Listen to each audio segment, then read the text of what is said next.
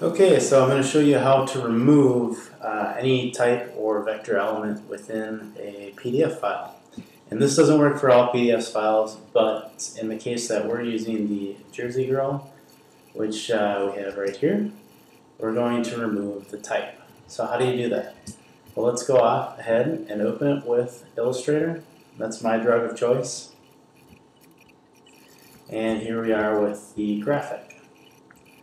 And as you can see over here on the right hand side, we have the layer called Jersey Girl.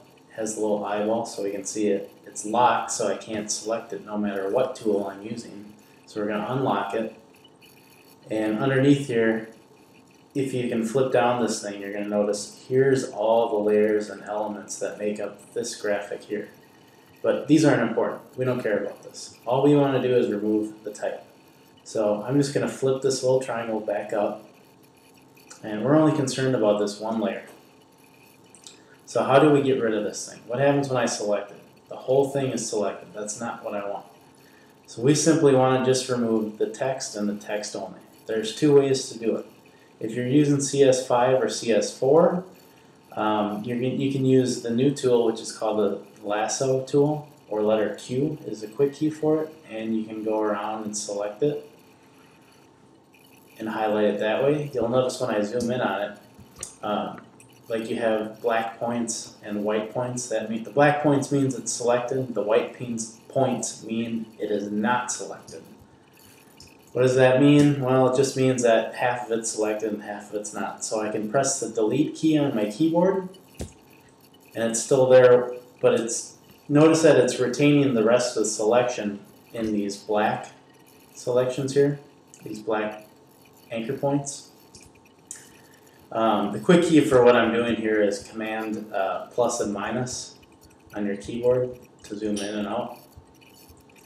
Um, and the space bar turns on the hand tool so I can move it up and down. But back to what we were talking about, I'm just going to press the delete key and I still have some more elements in there. So again, I can go back with my lasso tool, letter Q, select it, and delete once, delete twice. Voila, I have no uh, text left. So let's do that again, only this time I'm going to use it with uh, a different tool instead of the selection tool, or the lasso select. So this time I'm going to do the same thing. I'm going to unlock the layer. Instead of grabbing the lasso tool, this time I'm going to grab the direct selection tool, or quick key is letter A, and my cursor turns into a white uh, check mark or arrow, sorry. And I'm going to click and drag. And notice I'm not touching any portion of the girl. I'm getting close, but not that close. And again, delete and delete again. And it, it actually did a little faster that time. So that's the result. Um, I always lock the layers when I'm done in case someone who gets the file is not very computer savvy or doesn't know what they're doing with Illustrator. I always lock it so no one can make any mistakes on my files.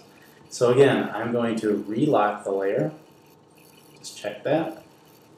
And we're going to save this as a PDF. This already actually is a PDF. It says right here and I'm just going to call this the Jersey Girl with no text. Jersey's Jersey Girl, no text. Dot PDF. Do you want to replace the one? Sure. And saying uh, what what what preset do you want to use for your PDF? I just go with the default and save as PDF. And voila, there it is. This is print quality, so your printer will be more than happy with you. And here's our result.